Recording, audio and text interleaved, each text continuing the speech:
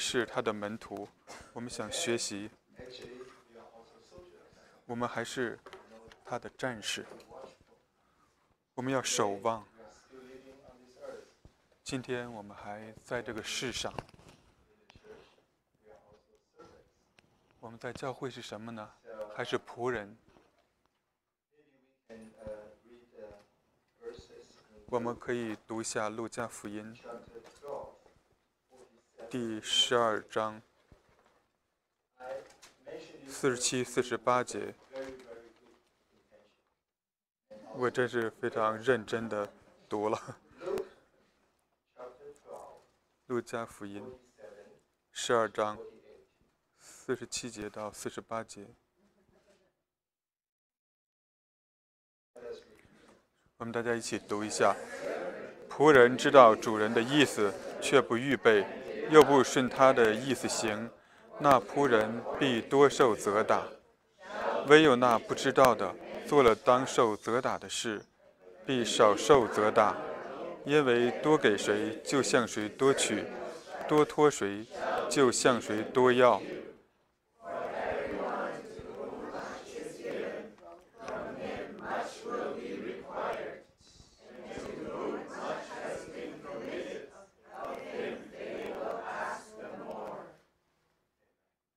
阿门。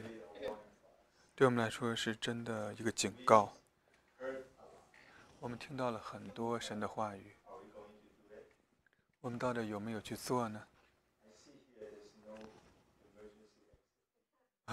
我看一下我们的门口没有紧急出口。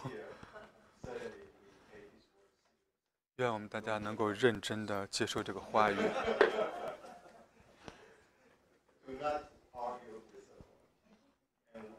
不要跟主来争辩，因为我们大家都有这样的心，为了我们的主。愿大家都有这样真诚的心，非常的尊重我们神的话语，让我们变得非常的忠心。主啊，让我们看到你的旨意是什么。我们想做那忠心的仆人。不因为我们早上起来就怎么样了，我们真正想的是你的国度能够来到这地上，让我们大家能够真正的看到什么是神的天国，不能觉得它是白白给我们的。我们现在已经得救了，我们是神的士兵，为他征战。那今天在这地上，我们应该怎么样在教会服侍，也是非常的重要。我们不能觉得很简单、很随便的这样去做。哦，我们什么都知道。尤其是昨天的聚会，大家想不想做这个初熟的果子？我们大家都想，但是。我们应该怎么样行动？怎么样反应呢？我们每一天的生活怎么样过？我们怎么样去服侍？圣徒之间彼此的反应会怎么样？我们现在在每一天的生活，不是在等一个非常大的事件。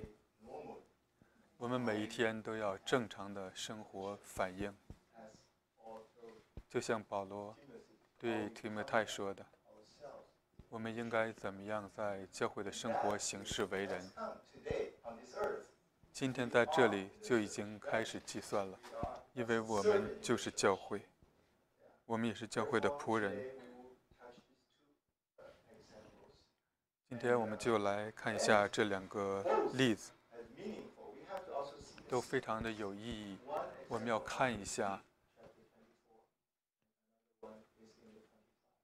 一个是在二十四章马太福音的，还有一个二十五章的，都是关于这个天国的。这个顺序是非常的有意义。我们回到马太福音二十四章四四十五节到五十一节。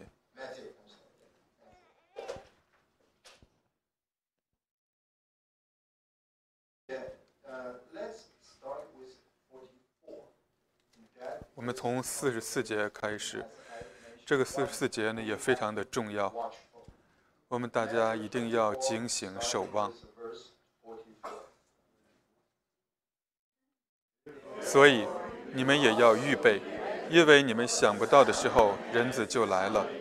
谁是忠心有见识的仆人为主人所派管理家里的人按时分粮给他们呢？主人来到，看见他这样行，那仆人就有福了。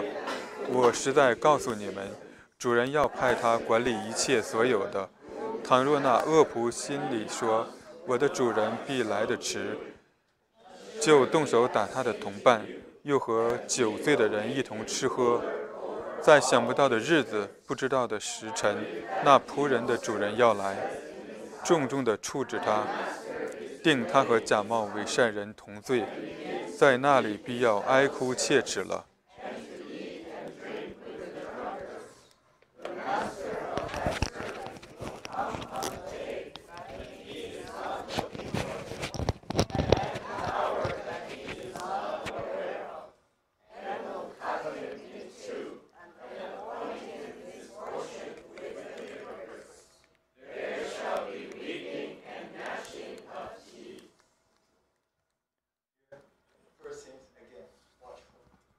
第一件事就是我们要守望。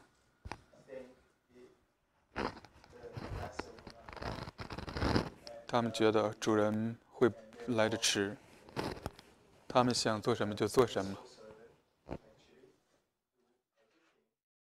这个忠心的仆人，无论主人说什么，他都会照着去做。这个四十五节。这个忠心有见识的仆人，为主人所派，管理家里的人，按时分粮给他们。作为仆人，应该是为每一个人服务。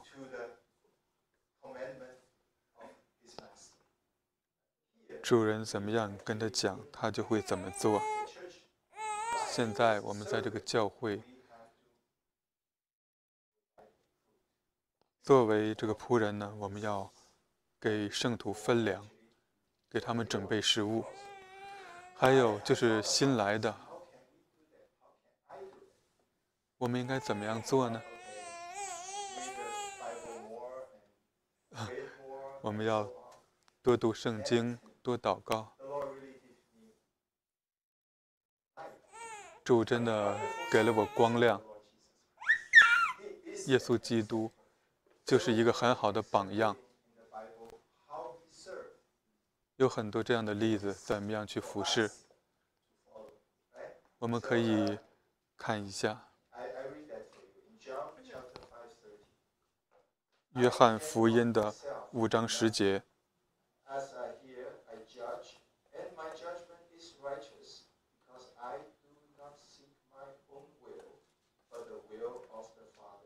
他做的是什么？做的就是父神的旨意。我们服侍的时候，我们要把这个耶稣基督作为我们的榜样，不是根据我们的旨意，而是根据我们父神的旨意去行。还有这个约翰福音的第十四。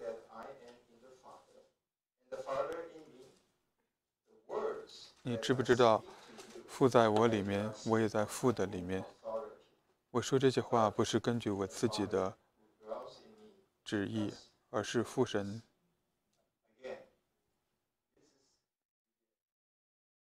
这对我来说是一个很好的榜样。我们要追求的就是父神的旨意。很多时候呢，我们觉得，我想这样做。我想这样服侍。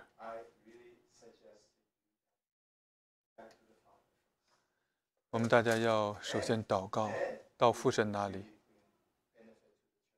然后只有这样做才能够帮助教会，不仅仅是我们自己。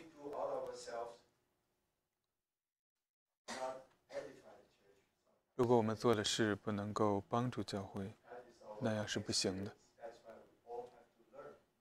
我们要学习去问父神，去向他祷告。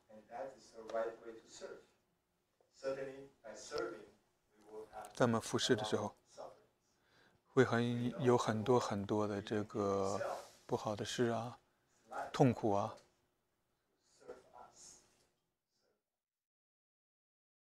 有时候我们也会只顾服侍自己。有时候小的痛苦，我们就会觉得哦太厉害了，但是跟主的痛苦比，真的什么都不是。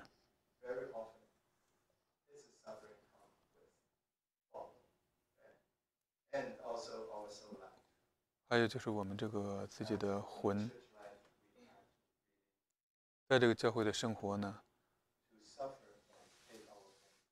我们要真正的去接受痛苦，另外就要舍己，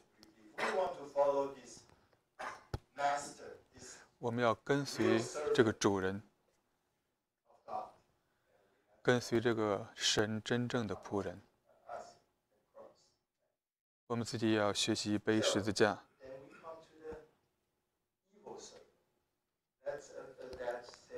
现在我们看一下这个恶谱，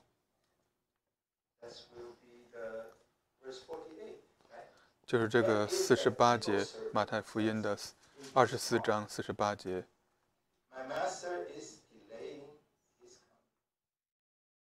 他说：“这个主人要迟来。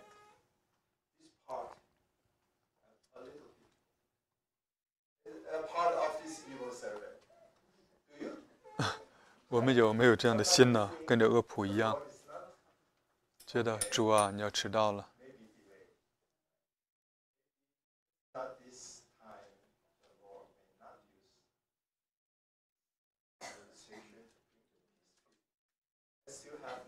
这次呢，也许还需要更多的时间达成这个和平条约。但是这是一直在我们心里，在想，这个条约到底会不会签下来呢？你看第二部分，他们就动手打同伴，又和酒醉的人一同吃喝。这部分怎么样呢？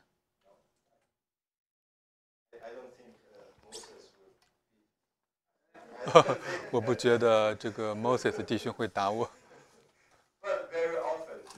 但是很多时候呢，我们知道，我们知道这个天国的宪法，它的标准太高了，这不是说我们动手去打人。但是呢，有些时候我们心里想去打他们、恨他们，都是不可以的。我不想说，我还有这样的问题。我心里可能不喜欢 Moses 弟兄。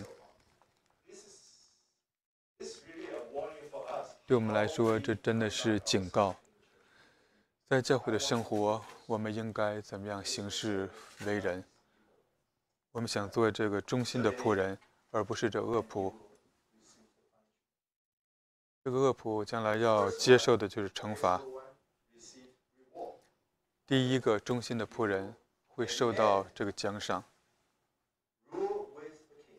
最后他要和这个王一起得到所有的奖赏。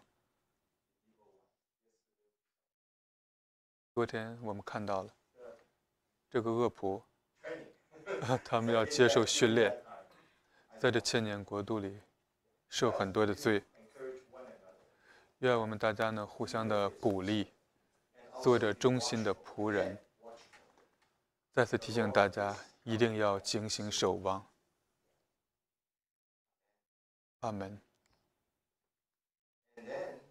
现在呢，我们看一下这种想法。在旧约的时候也有这样的想法。我们现在读一下旧约，以赛亚书五十六章。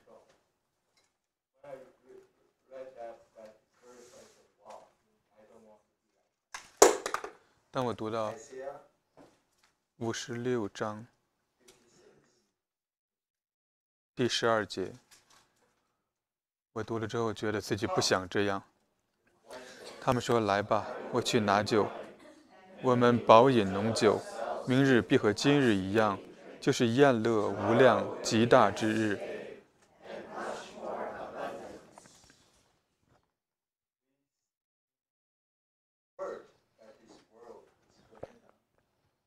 这个世界现在是走下坡路了。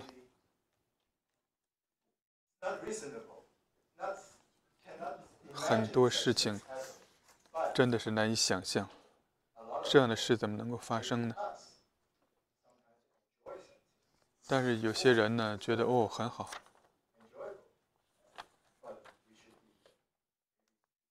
我们要真的小心了，不要被这些事情所玷污，不然的话，我们就是这些恶仆了。我们和这些个不好的东西同饮。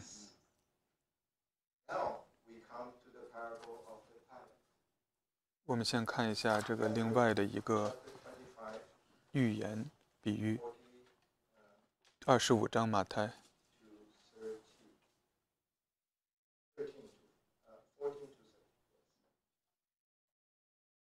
嗯，第十四节开始到三十，天国又好比一个人要往外国去，就叫了仆人来。把他们家把他的家业交给他们，按着个人的才干给他们银子，一个给了五千，一个给了两千，一个给了一千，就往外国去了。那领五千的随即拿去做买卖，另外赚了五千。那我们先停在这里，先停一下。这个地方呢，主给我们一个比喻。这个主人呢要去很远的地方，然后呢就叫他的仆人来，把他的家业交给他们。这是属于谁的？属于这个主人的。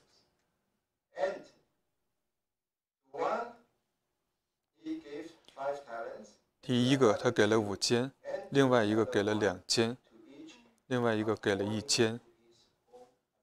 怎么给的呢？跟着个人的才干。它是非常公平的，你不要去跟别人比，它是根据个人的才干给的。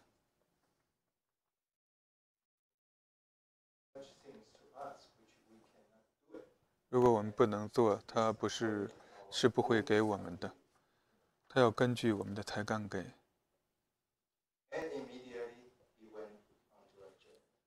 很快他就出去了。我们接着读，读十七。那领两千的也照样另赚了两千，但那领一千的去掘开地，把主人的银子埋葬了。过了许久，那些仆人的主人来了，和他们算账。那领五千银子的又带着那另外的五千来说：“主啊，你交给我五千银子，请看，我又赚了五千。”主人说：“好。”你这又良善又忠心的仆人，你在不多的事上有忠心，我要把许多事派你管理，可以进来享受你主人的快乐。那领两千的也来说：“主啊，你交给我两千银子，请看，我又赚了两千。”主人说：“好，你这又良善又忠心的仆人，你在不多的事上有忠心，我要把许多事派你管理，可以进来享受你主人的快乐。”那领一千的也来说：“主啊，我知道你是忍心的人，没有种的地方要收割，没有散的地方要聚敛。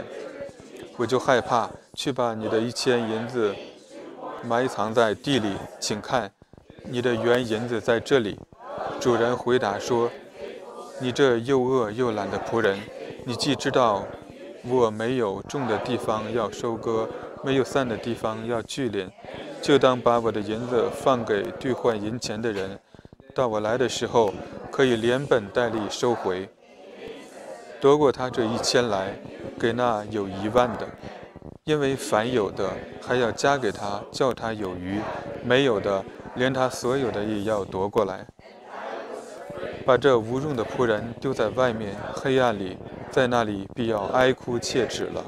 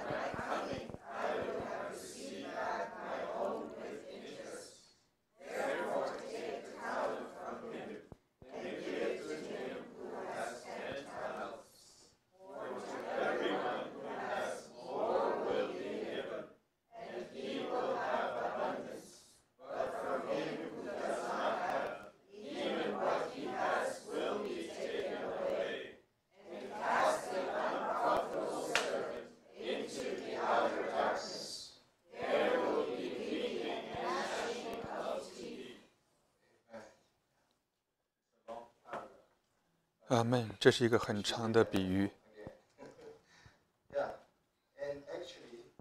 实际上，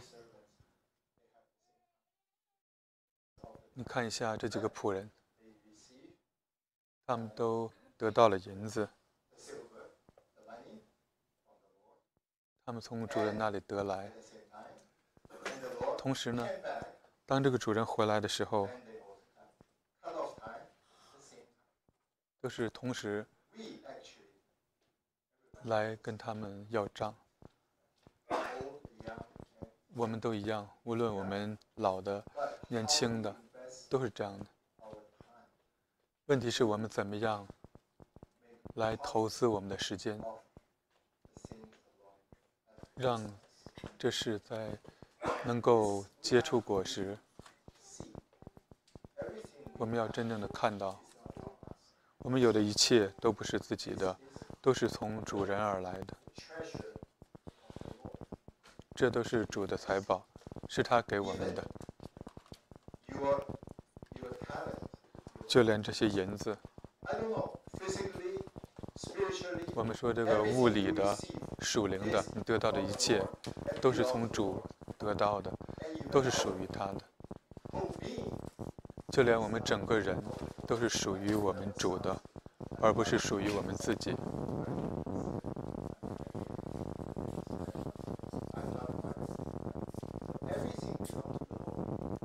所有的一切都属于主。如果我们忠心，我们要可以看到这一切。主他信任我们，给了我们这个银子。要用中心的方式来管理他的钱。我们看到了这里主人他们会奖赏这中心的。他说你做的非常好。另外另外一个，我不知道这个人怎么得到这样的想法。我们看一下第二十四。他说主啊。我知道你是忍心的人，没有种的地方要收割，没有散的地方要聚散。他怎么会得到这样的想法？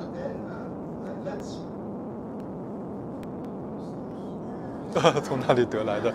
弟兄开玩笑说，可能是牧师告诉我的。我们看一下《路加福音》的第十九章。二十二。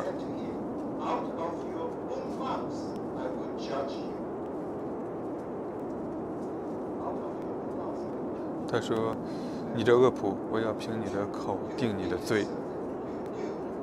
你知道我是严厉的人，没有放下的还要去拿，没有种下的还要去收。我们的主是公义的主，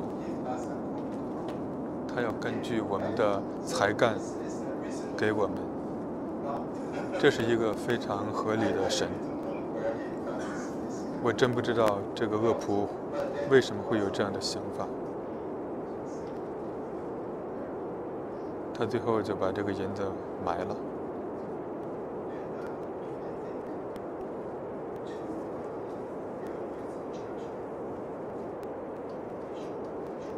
我们真的要成熟，我们要知道神的话语，我们要知道主他自己是怎样的一个人。我们读一下这个以弗所书，告诉我们我们要成熟，我们应该像教师一样。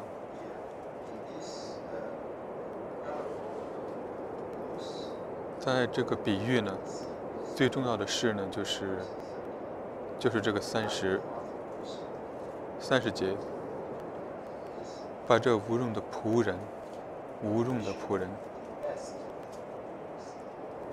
我们得到了，我们应该去工作，去投资。主说了，他要得到利息，你应该把它投资到正确的地方。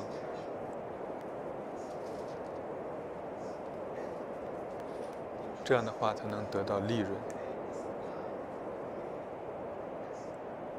现在这个时间，我们应该知道如何的投资自己的时间。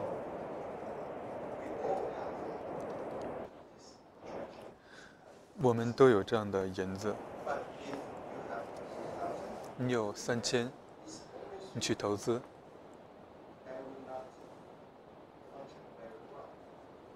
如果做的不是很好，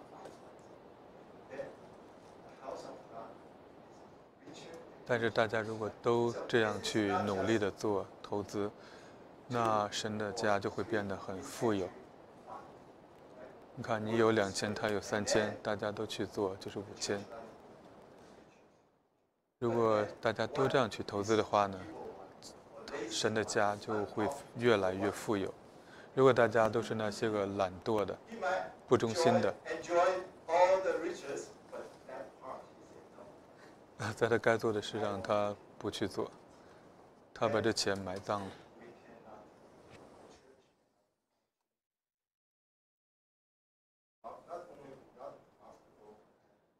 那我们的教会的生活就会堕落。我们真的是要警醒守望。不要懒惰，不能做那些个不结果实的仆人。另外就是，你要去哪里去投资？我跟弟兄有这样的交通。也许你把你的钱投资到错的地方了。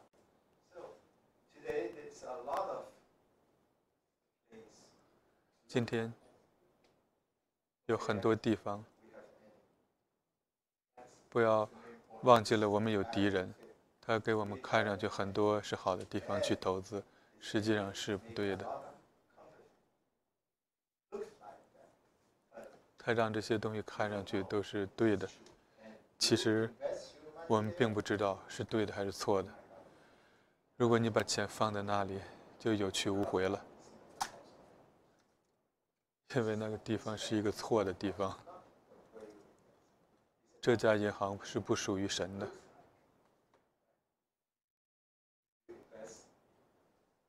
如果你把很多钱，把你的整个的生命都投资到这个地方，比如说这个大淫妇，放到他那里，五十年之后啊，你什么都没有了。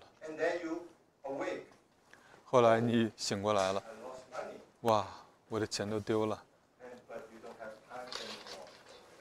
但是你已经没有时间了，你整整浪费了五十年。我们有时候转呢转呢，去找这个银行，在找银行的过程中，五十年就过去了。这个 Victoria 姐妹。说现在已经辞职了，你应该把时间呢都投资在这个教会的生活，而且要聪明的去做，把我们的时间放在对的地方，这样的话就会得到利润。投资的主要的目的就是有利润，千万不要像另外一个，把自己的这个银子都埋葬了，然后没有任何的利润。我们要真的忠心在这件事上。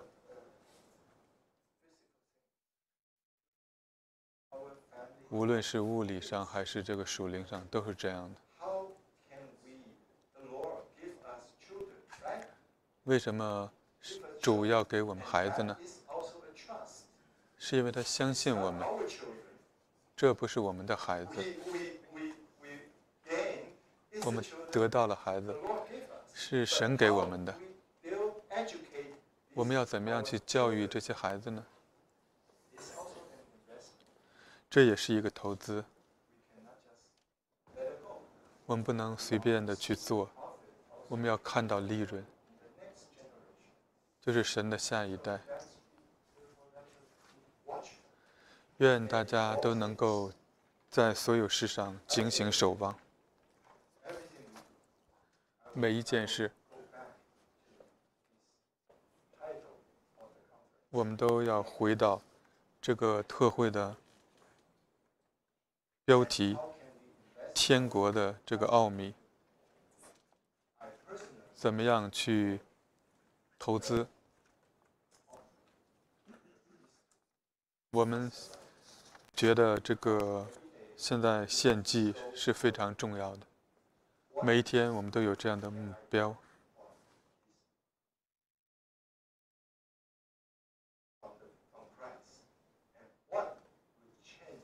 我们要找到主，让他来改变我们。从基督那里获得的就是这个利润。每一天我们都有这样的一个过程。主啊，我们想经历你，在每一个季上，我都想经历你。我们想得到你，我们想得到利润。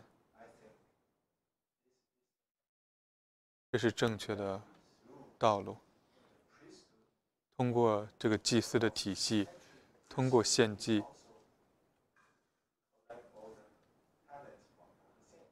大家想一下，这个祭祀体系呢，就是从大家这里来收利润，然后呢，让父神满意，让我们忠心，让我们有利润。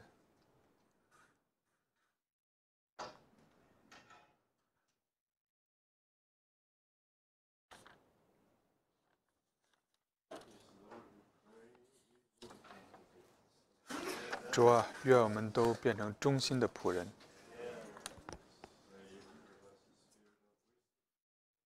主啊，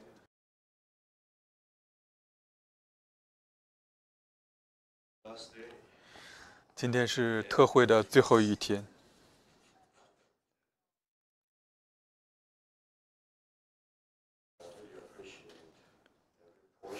非常感激。大家，弟兄姐妹们，提醒我们要记住，这话语就是神的话语。我们在这里交通，就是鼓励大家，鼓励大家前进。我们不是教授，不是在这里学习圣经、解释圣经。我们在这里要做的就是鼓励大家。神的话语真的是对我们有效的，也能够纠正我们，帮助我们在公益这件事上去达到完全。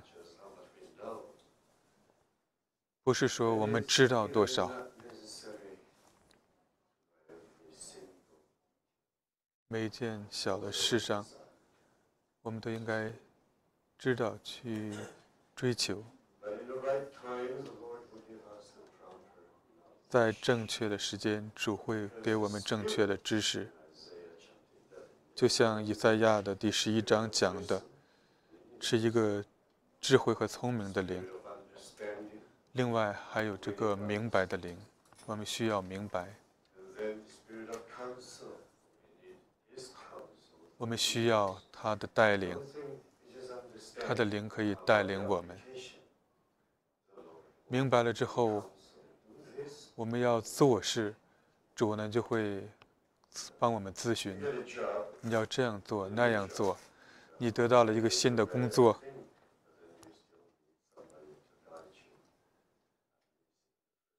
在上班的前几天，你需要别人带你。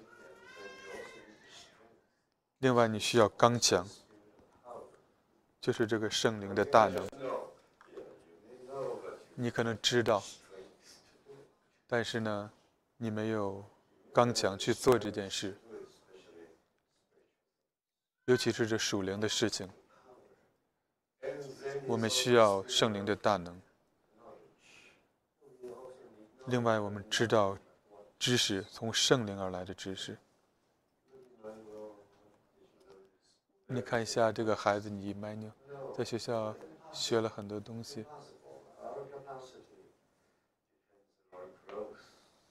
我们要不断的成长，不要想一下把所有的东西都学会。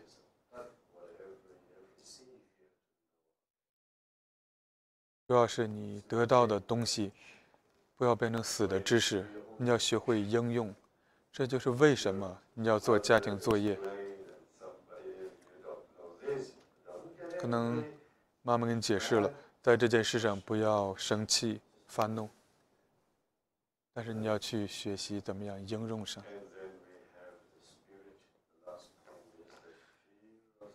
最后一部分就是对神的敬畏，没有对神的敬畏是不行的。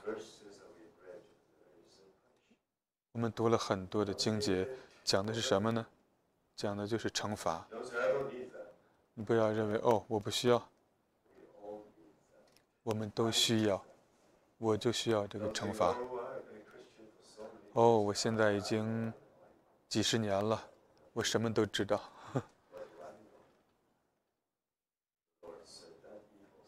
就说呀，这个恶仆要被从中间劈成两半，你想被劈开吗？就像牛一样，被砍开了。然后最后做成了汉堡包，这样行吗？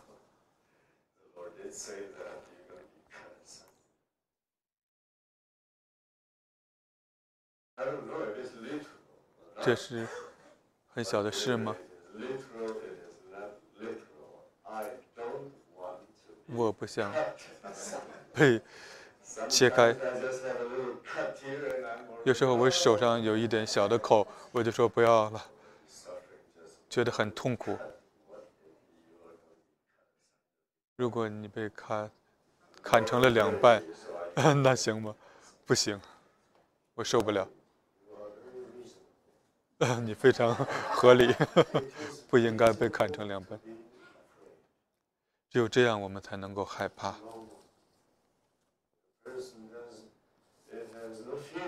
如果这个人对神没有敬畏，那你会做很多疯狂的事。这个惩罚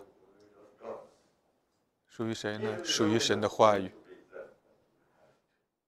有时候你不想读他的话语，但是你必须读。如果没有惩罚，那我们会怎么做呢？我们会变得很懒，不想前进了。我们知道。不仅仅是这些个小弟兄们，还有我，我也这样。我这么老的人也会懒惰。如果我不知道主会惩罚我，那我就随随便便了。就像现在这么差的天气，我肯定不会来多伦多了。你要相信我。后来我一想，哦，我可能会被。砍开呀，扔在黑暗之中，哇！我真的害怕了，我赶紧打行李来多伦多。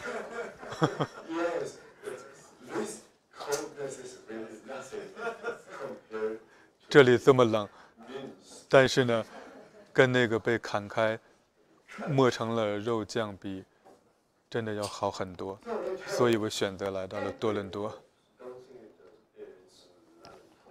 你不要觉得不重要。你看我们的弟兄说了，你要相信我，我是诚心诚意的讲这些。你要告诉他们，很严肃的告诉他们，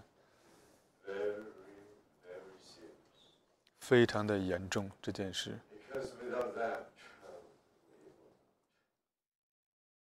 没有对神的敬畏，我们肯定是达不到目标的。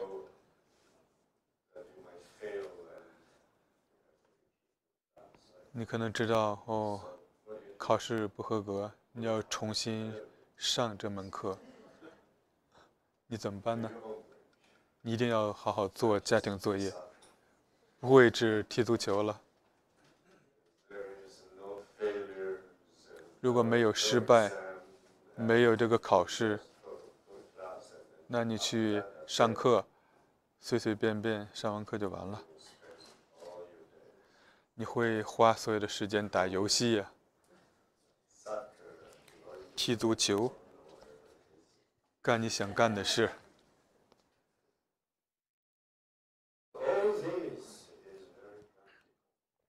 这所有的一切都是非常实际的。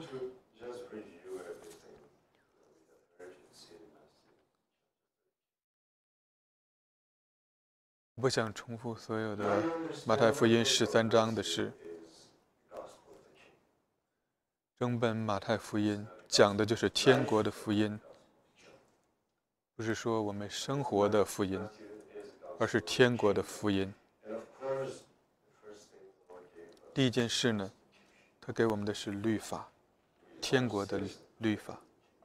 我们属于天国的国民，我们要知道，知道那里有律法。这个国度的一切都应该是正确的。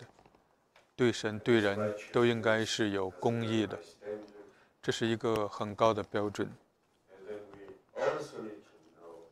我们还要知道，这个天国人民他们的本性应该是什么的。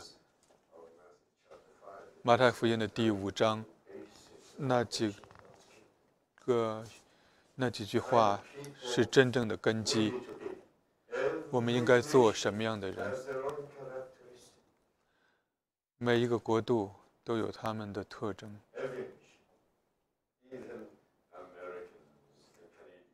就像我们加拿大、美国呀，也是不一样的。虽然我们离得这么近，我们也有区别。每一个国度都有他们的文化，他们的特点。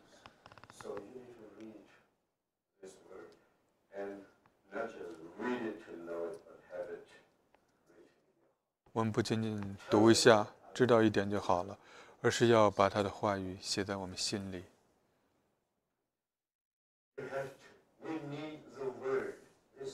我们需要神的话语。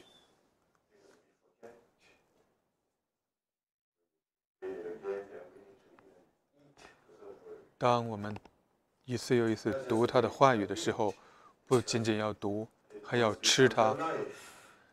让这话语变成我们的生命，变成我们的刚强。我们有着天国的宪法，怎么样把它活出来呢？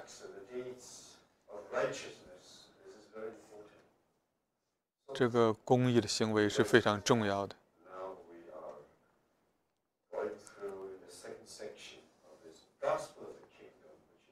现在我们来到了。这天国福音的第二部分，就是天国的秘密，让我们看到这个天国的发展、成长是不容易的，因为我们主的敌人撒旦在那里，他的话语非常的平衡，他的话语都是一对一对的。你看主在这里撒种。敌人也在撒种。第一个是把他的种子撒到我们心里，另外要决定于你的心是怎么样的。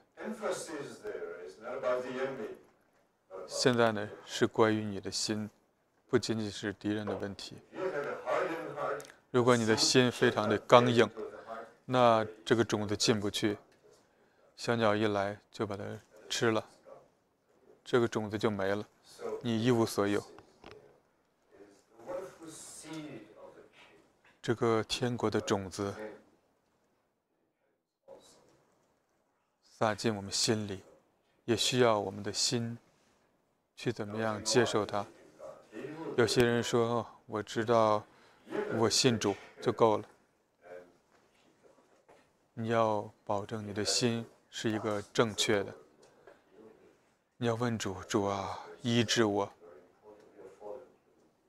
我们是这堕落的人类，我们也改不了了。我们从这个亚当而来，我们的这个心呢，是不纯正的。我们需要主的治疗。如果你生了病，你要干什么？你说没关系。我相信，相信医生。你相信是不够的，你还要去看医生。然后呢，他要做一些事，有可能他要给你做手术。你愿意做手术吗？不愿意。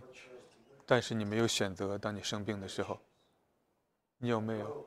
没有。你想活下来，一定要被医治。真的很可怕呀！那你怎么办呢？你想死吗？不会的。所以最好呢，我这么害怕，但是我们要接受这个手术治疗。主啊，医治我们！我们有这样好的一个医生。他能够帮助我们，不要在这里受罪，而是到医生那里去。他就是一个很好的例子。你看这两个弟兄都有这个心脏起搏器，我们还有一个更好的医生在天上，他来帮助我们。很多时候，我要跟主说：“主啊，你要医治我。”不仅仅是洁净我、拯救我，而是要医治我。你不能说，医生，你饶恕了我。你要说，我想被医治，请你医治我。只有这样，我们心中天国的种子才能够正常的生长。最后结出很多的果实。我们想在西安有他的国度。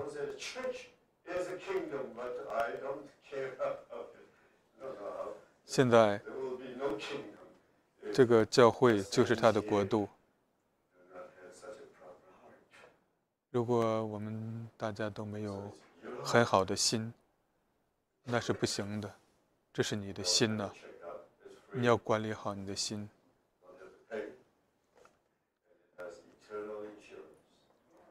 你觉得那里有这么好的保险，永恒的这个保险？我们期待神，我们已经有了圣灵的印记，百分之百，你没有问题吗？大家要真正的管理好自己的心呢。另外呢，还有这样的敌人。他把这个败子种在你的心中，从外表是看不出来的，看上去非常相像。你像假先知啊，假的老师，还有那个教皇，他们这些牧养的人，结果他们是什么呢？他们来这里是抢，去夺，他们是从这窗户进来的，进来之后又偷又抢啊！现在有很多的窃贼，不要仅仅认为这个那些个政客是不好的人，现在还有很多假的先知。我来之前呢，我在读这个耶利米书二十一章。讲了那个时候有很多的假先知，真的很可怕。你觉得这个牧师和那假先知，他们不一样吗？最可怕的是，他们外表像羊一样，里面是什么呢？里面是狼，就是披着羊皮的狼。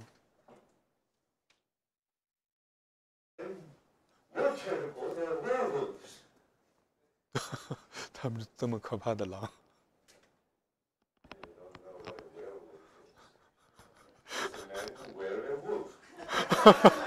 还有些长得像人一样的狼。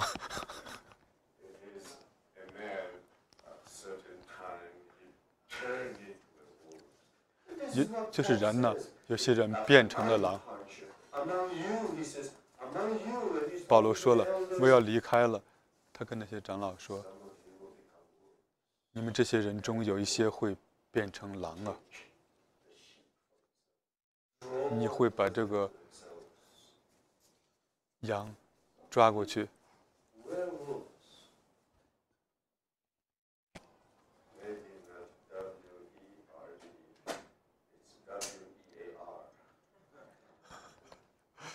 他们。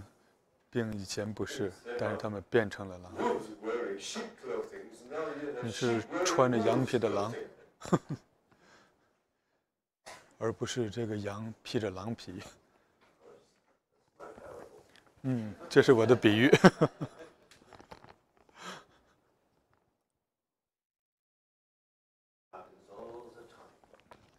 这些事是时常发生的。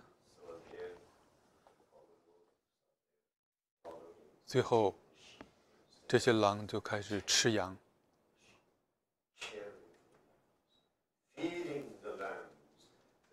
他们应该喂养这些羊，但是他们来吃这些羊。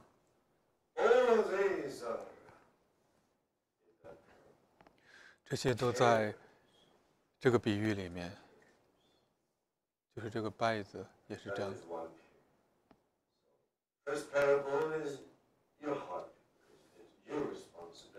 第一个比喻呢，讲的是你的心，就是你的责任。第二个呢，啊，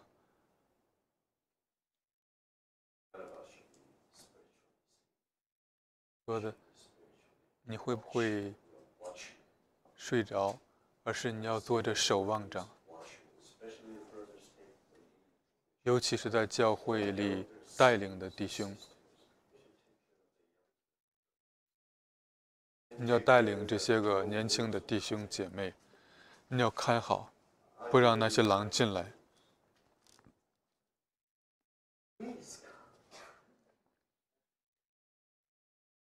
有些人会把这些狼请来，哦，人越多越好啊，就把狼请进来了。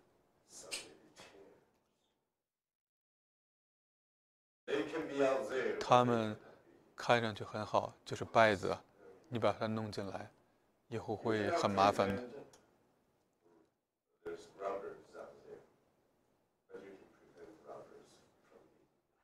有些个强盗，你怎么样对付强盗呢？你家里可能要安报警器。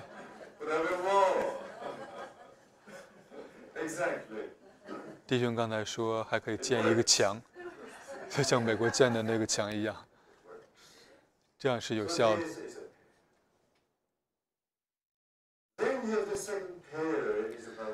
另外的一对比喻呢，就是撒旦要对教会做的事。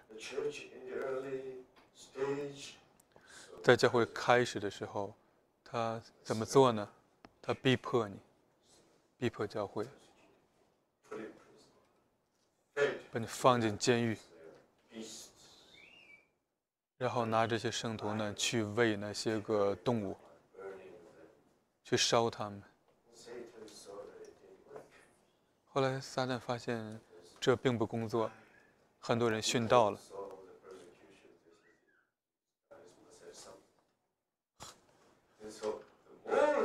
他们越逼迫这些人，更多的人相信主了。哦，原来是撒旦真的在那里。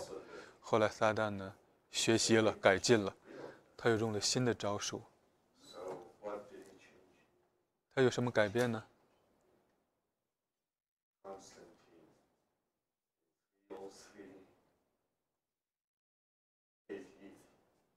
在那个公元三百零三年，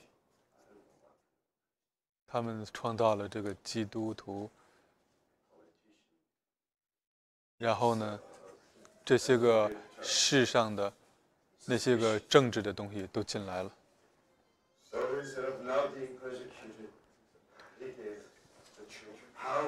他给了教会很大的权利。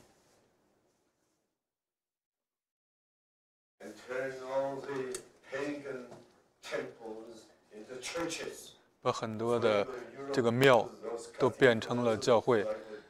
你看，你在那个欧洲有这么多非常漂亮的大教堂，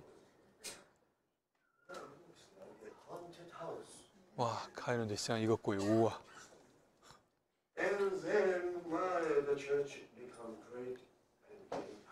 现在教会有了这个权利，有了钱。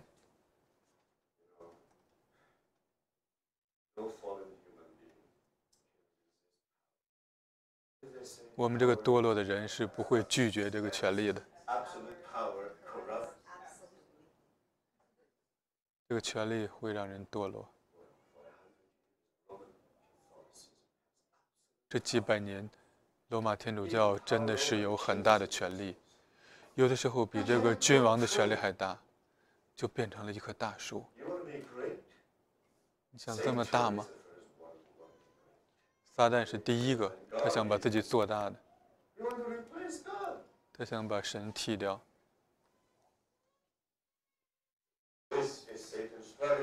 这就是撒旦的诡计，他让你想把自己做大，你让那些人，这就是撒旦的诡计，让你堕落，把你放到高处。你待的位置越高，将来你会堕落的越深。今天，在这个基督教的一些个地方，大家呢都在比较谁更大。他们有很好的会所。另外一个人来了，又做了一个更大的会所。哇，他这里还有篮球队。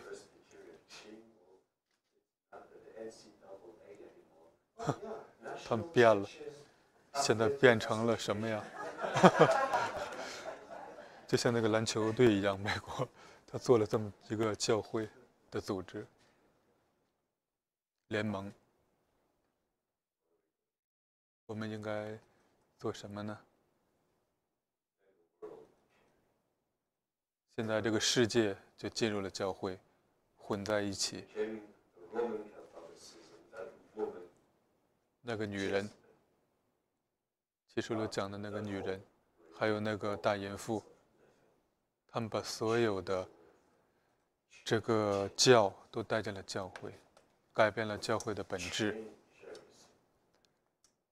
教会的一切都被改变了。大家也不用读圣经了。哇！我听这个教皇的，这个教皇永远不会堕落。然后呢，我再给大家讲，我是祭司啊，大家不用读了，只要听我的就好了。这就是撒旦的诡计。赞美主。这两个预言，还有那个第三对，这是我们弟兄讲的。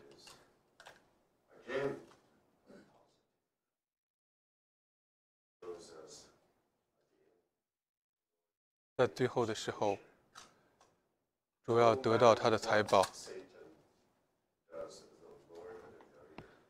不管撒旦怎么做，我们的主一定要得到他的财宝，就是他的国度，就像这珍珠一样。但是呢，你必须把自己的一切都给主。那我们应该怎么做呢？主把他自己的一切都交出来，得到了他的国度。今天我们要给主什么呢？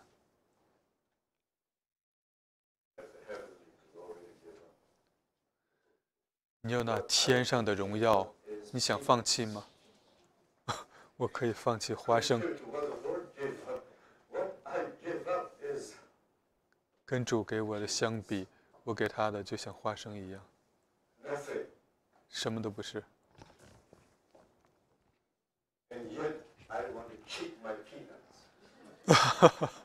我还想留着自己这个花生，舍不得放出去。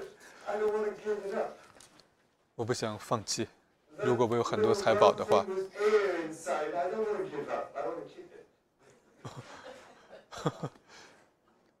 我有的这些东西我都舍不得呀。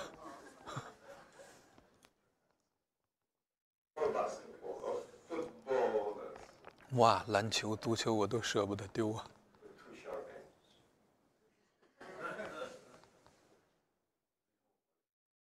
我们不想放弃。撒旦呢，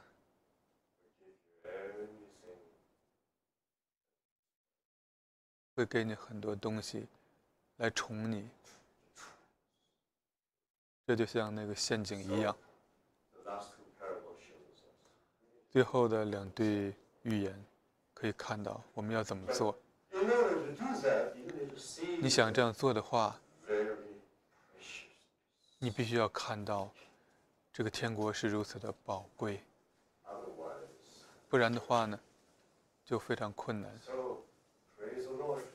赞美主，感谢他给我们这么多的比喻。后面我们还有两对比喻要讲。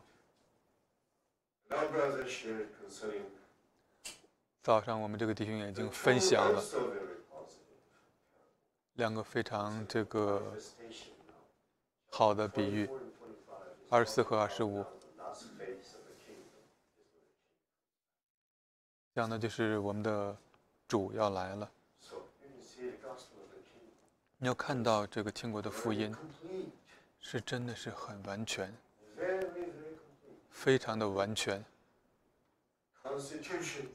有这个宪法，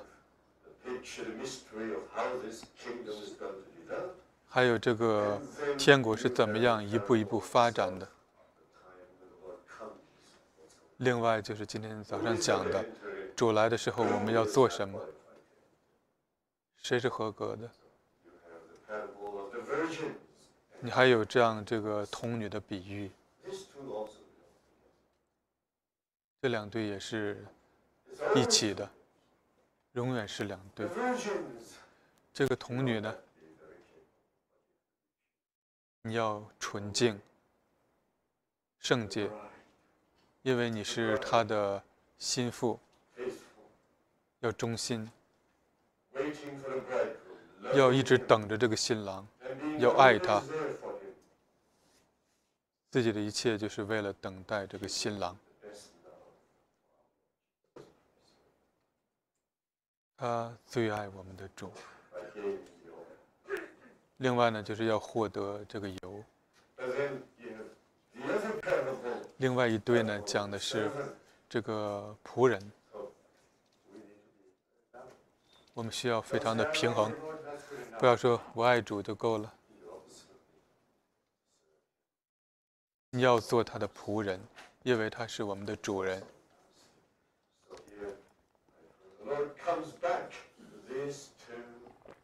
当他回来的时候，这是非常重要的。他是我们的主人，我们是他的仆人。我们又是童女，要做着聪明又忠心的童女。马太福音二十四章和二十五章讲的都是主作为这个万王之王到来，他要娶他的心腹，他要奖励他的仆人。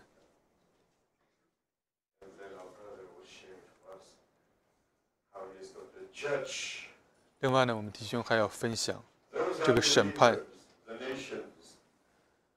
那些个不信的人，让这个比喻非常的完全，让这个天国整个的图画是如此的完整。现在该轮到你了，大家休息一下。五分钟。